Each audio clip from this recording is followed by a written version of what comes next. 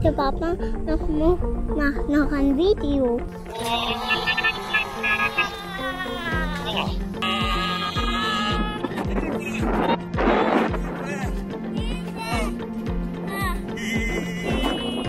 Thank you.